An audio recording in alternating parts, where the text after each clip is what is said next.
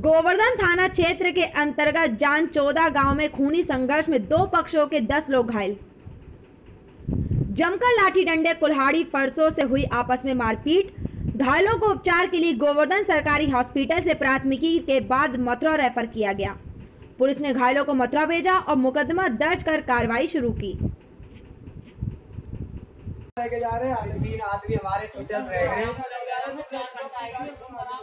और इतनी लापरवाही है रही है।